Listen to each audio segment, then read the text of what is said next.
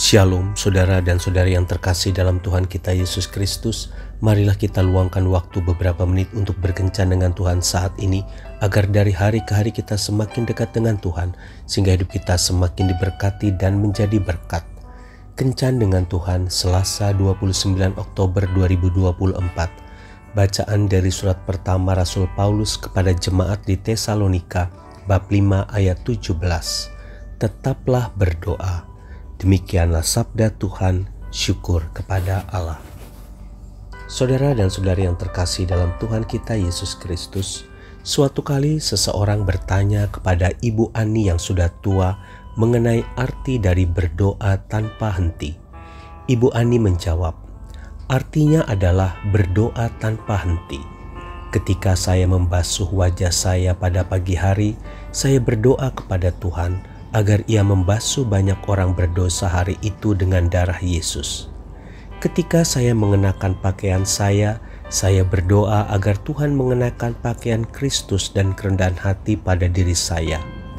Ketika saya mengambil sisir, saya berpikir mengenai seorang wanita yang menyapu rumahnya untuk mencari uang peraknya yang hilang, dan saya berdoa agar Tuhan menyapu dunia dan menyelamatkan orang-orang yang terhilang. Ketika saya menggosok parutan dan parutan itu mulai menjadi cemerlang, saya berdoa agar Tuhan membuat jiwa saya menjadi lebih cerah.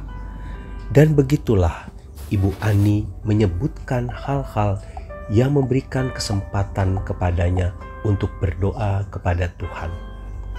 Saudara dan saudari yang terkasih dalam Tuhan kita Yesus Kristus, doa bukan hanya dapat dilakukan pada saat kita pergi ke gereja pada saat bersaat teduh atau ketika kita sedang menghadiri kelompok persekutuan doa.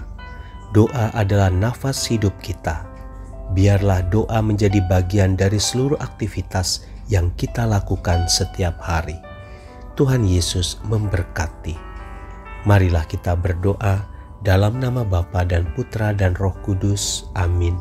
Tuhan Yesus, penuhilah aku dengan roh doamu, sehingga di mana pun aku berada dan apa pun yang akan aku lakukan, mulutku senantiasa melantunkan pujian dan doa untuk kemuliaan namamu dan memberkati orang-orang di sekitarku. Amin. Dalam nama Bapa dan Putra dan Roh Kudus. Amin.